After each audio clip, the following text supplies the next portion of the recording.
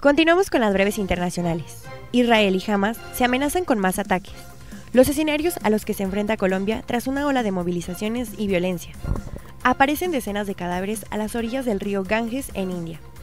Buenas tardes, les saludo Astrid Cuevas y comenzamos con las noticias.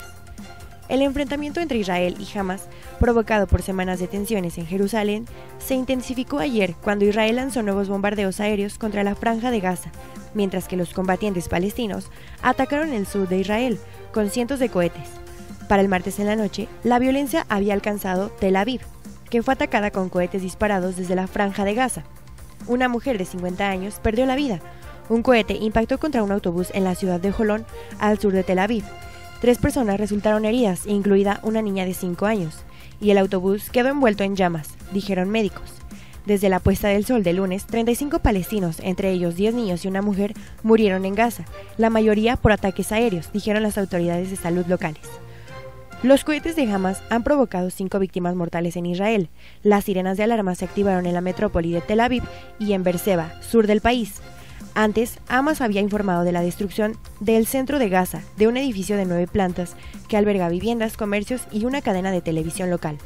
Por estos ataques, la ONU envió a Medio Oriente a Thor y Ant y advirtió que Israel y Hamas se dirigen a una guerra a gran escala, y pidió a las partes que pongan fin inmediatamente a los enfrentamientos. El secretario general de la ONU, Antonio Gutiérrez, exigió un alto a la espiral de violencia. A pesar de su guerra de 60 años, Colombia fue durante décadas un país relativamente estable, pero en los últimos años esa historia de estabilidad ha ido cambiando, y la ola de protestas y violencia política hace casi dos semanas confirmó que Colombia ya no es el mismo país. Por primera vez en décadas, los obreros campesinos, indígenas y estudiantes se organizaron para protestar al tiempo. La caída de la reforma tributaria en medio de una emergencia fiscal mostró grietas y en un modelo económico al menos 42 personas han muerto, según la Defensoría del Pueblo. Miles han resultado heridos, cientos han pasado días desaparecidos.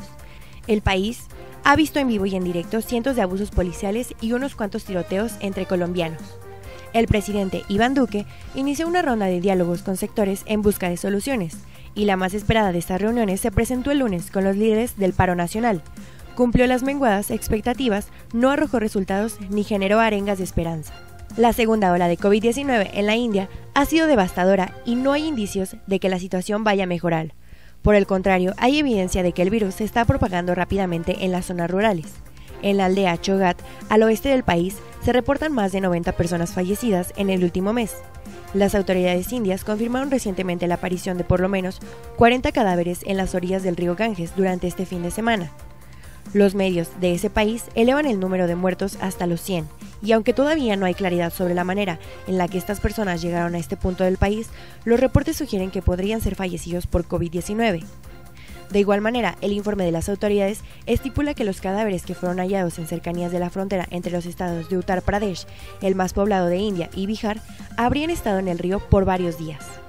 Sobre qué se harán con estos cuerpos sin vida encontrados, Kumar aseguró que próximamente serán enterrados o incinerados. De igual manera, las autoridades indicaron que los cadáveres daban la impresión de estar hinchados y parcialmente quemados. Hasta aquí la información más relevante del día.